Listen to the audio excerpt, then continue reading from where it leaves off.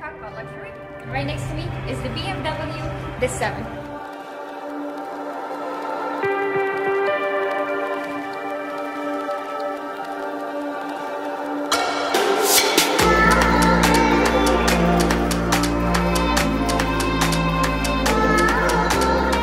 I was very excited when I made this review on the BMW the 7 Series, as it made me feel like I was in an Avatar movie.